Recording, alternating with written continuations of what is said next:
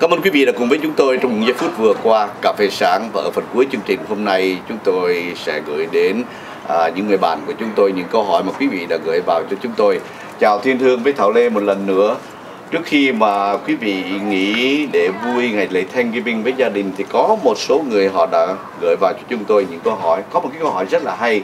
Họ nói là chúng tôi đã có nhà ở Westminster, nay con tôi được vào nhận vào trường đại học ở San Francisco.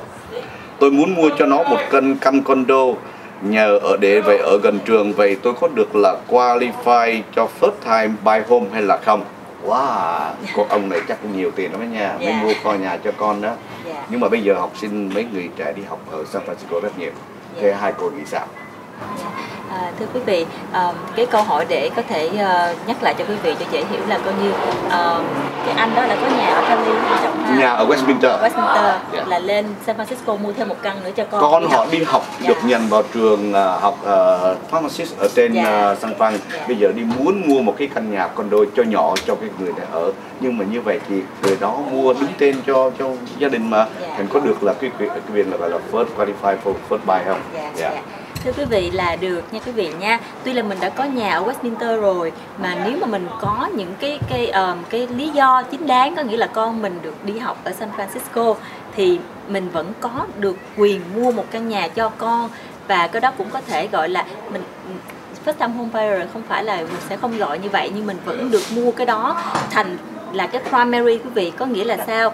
Là quý vị vẫn có thể đao được là là là 20 phần trăm thưa Dạ, quý vị 20%. nó nó sẽ qualify như là cái second home của mình thưa quý vị nhưng mà thường thường second home và nhà mình để ở thì mình được tiền lời nó giống nhau thưa quý vị và cái down payment cũng vẫn là 20 phần trăm không đòi hỏi down hơn giống như mình đi mua nhà investment home Dạ. dạ cái đó được anh trọng Như vậy là được không? đao thấp hơn Như vậy là- dạ, là được. đao thấp hơn được từ 5 phần trăm 10 phần trăm vẫn được thưa quý vị Vâng, Dạ. nhưng mà tôi đã có nhà Westminster này rồi đó. thì tại vì cái mục đích chính đáng của cái nhà đó là mình mua ở gần trường học cho con mình ở mình để ở chứ mình không dùng để cho thuê Ồ, Ờ, wow. vâng cho nên có thể nhà băng nó sẽ hỏi thêm một số giấy tờ chẳng hạn cung cấp tài liệu là giấy được nhận vào trường học của mình để mình chứng minh rằng thực sự con mình đi học ở ngôi trường đó mình mua nhà đó cho con mình ở chứ mình không mua để cho thuê Có một người bạn ở tại thành phố Fountain Valley họ có một câu hỏi rằng tôi đang cần làm gấp refinance cash out để lấy tiền làm ăn. Tôi đã ký giấy tờ tiền lợ ở loan document hết rồi mà tại sao nhà băng nói phải đợi 3 ngày sau thì mới phân tiền được vì đó là luật có phải vậy không? Wow, ông này không biết đi mượn tiền làm gì nữa ha. chắc là cần gấp lắm hơn ha à. dạ thưa quý vị dạ, dạ đúng rồi quý vị nếu mà mình cash out căn nhà mình đang ở nha quý vị nha căn nhà đang ở thì mình phải đợi là Ba ngày. 3 ngày dạ 3 ngày để mình có thể có thể thay đổi đó. dạ. Có thể ở trong cái loan document khi mình ký đó quý vị nó có một cái tờ giấy nó cho mình được quyền. Ở trong đó là mình check nó vô là mình nó, mình mình nó cho mình là 3 ngày được quyền thay đổi suy nghĩ nếu anh có được quyền cancel cái loan này trong vòng 3 ngày cho nhà mình ở Dạ. cho nhà mình ở nhưng nếu quý vị làm refinance cash out trên căn nhà mình đi cho thuê thì mình không cần phải đợi 3 ngày thưa quý vị Ồ. chỉ là cash out căn nhà đang ở thì Ờ, phải đợi đợi thưa ba quý vị ngày. 3 ngày sau dạ Dạ. Cảm ơn Thiên Hương với Thảo Lê trong một cái tiến trình gần với cà phê sáng chúng tôi, giúp đỡ chúng tôi cũng giống như tất cả khán thính giả của chúng tôi. Chúng ta vỏn vẹn chỉ còn vài ngày nữa là chúng ta chuẩn bị một cái mùa Thanksgiving thứ 41 tại Hoa Kỳ. Hai cô trên cái đoạn đường đến đây cũng, ai cũng có những cái khó khăn hết. Tôi muốn dành thì giờ cho để hai cô cảm ơn tất cả những gì nước Mỹ, cảm ơn tất cả những gì for Thanksgiving. Và và wow xin cảm ơn quý vị khán giả và xin cảm ơn anh Trọng và Đài Lido Sài Gòn TV đã tạo điều kiện cho Thiên Hương và Thảo Lê à, có thể chia sẻ quý vị những cái thắc mắc trăn trở. Mà thực sự thì đời thường Hương ha Rất không biết hỏi ai rất là cái cũng có rất là nhỏ đau bao nhiêu phần trăm được qualify như thế nào mua nhà ở San Francisco như thế nào. Thì dạ thưa quý vị những câu hỏi đó um, sẽ được trả lời bởi Thiên Hương và Thảo Lê trong chương trình mỗi sáng thứ năm anh Trọng ha. Dạ và cũng Thiên Hương và Thảo Lê cũng xin à, cảm ơn uh, sự nước Mỹ đã cho một cái, Thiên Hương và Thảo Lê một cái cơ hội được học tập và sinh sống ở đây và được phục vụ ờ, um, cộng đồng của mình và, và những cái thủ tục mua bán nhà tài trợ và tái tài trợ. À, và Thiên Hương và Thảo Lê cũng muốn give back to um, cộng đồng của mình có nghĩa là sẽ trả lời những thắc mắc coi như là free consultant đó. Free consultant cho quý vị.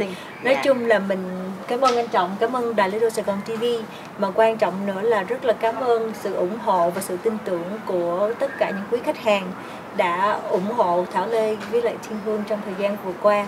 Và ừ, mình cũng cảm ơn um, nước Mỹ để cho mình có một cái cơ hội sinh sống giống như Thảo nói là làm việc để phát triển uh, những uh, những cái tài năng của mình để cho mình có những cái kiến thức để mình đóng góp lại um, cảm ơn anh trọng một năm rồi anh trọng Dạ. Yeah. À, một năm rồi nhanh ha Vâng. Từ- ban đầu mình không nghĩ chương trình mình đã đi tới một năm như vậy thưa quý vị mà đến nay là nếu mà đúng Thanksgiving này là mình đã làm việc với nhau được một năm thưa anh trọng Vâng. um, Nhưng mà phải cảm ơn chồng cô giữ con cho cô đi làm nữa. Wow. anh trọng thì sao khai có chồng À, Dạ. wow, wow. À, kính thưa quý vị, trong chương trình đến định cư tại Hoa Kỳ, mỗi một người chúng ta đóng góp vào tất cả những cái sự thành đạt của gia đình mình.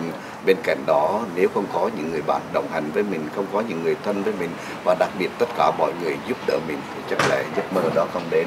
Hôm nay một lần nữa, những người chuyên viên tài chính địa ốc đến với chương trình cà phê sáng chúng tôi xin gửi lời cảm ơn tất cả quý khán thính giả nếu không có quý vị chắc lẽ không bao giờ chúng tôi có chương trình tồn tại đến ngày hôm nay một Vâng. lần nữa anh dạ. trọng nhắc quý vị là ừm, bây giờ quý vị coi chương trình ngày hôm nay sẽ biết office của Thảo Lê với Thiên Hương ở đâu rồi đó nếu trong quá trình mua nhà mình đã có người làm loan rồi cũng được mình đã có người loan officer rồi cũng được có người real estate agent rồi cũng được nhưng cần cái second opinion muốn tụi này không hiểu muốn tụi này coi giấy tờ dùm à, Thiên Hương và Thảo Lê sẵn sàng giống như Thảo Lê nói free consultant cho quý vị mình sẽ coi giấy tờ dùm. Nếu mà có cái gì mà quý vị thắc mắc không có hỏi ai được.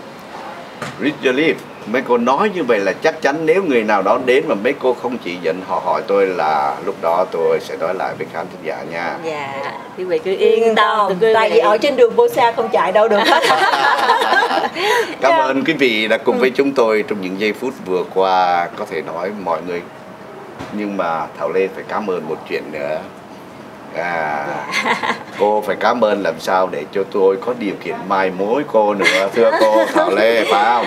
Dạ. Cái này là anh chồng bữa nay quảng cáo thảo ế đó. Vâng. À. chắc là tại vì làm việc quá đó quý vị không có thời gian đó nên là đang bị ế đó thưa quý vị.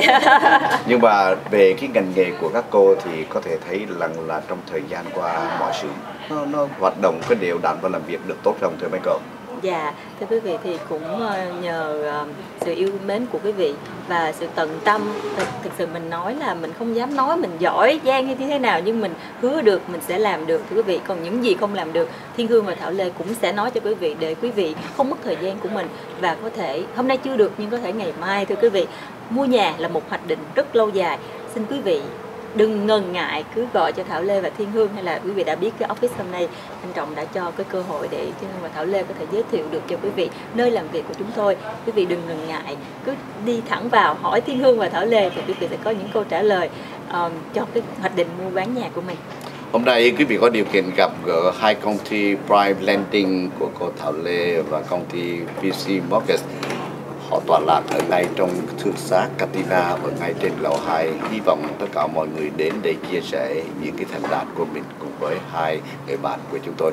Cảm ơn quý vị đã theo dõi chương trình của chúng tôi và quý vị giữ 57.7 để cùng với Hoàng Trọng Thủy và Thảo Yên qua thời sự thế giới.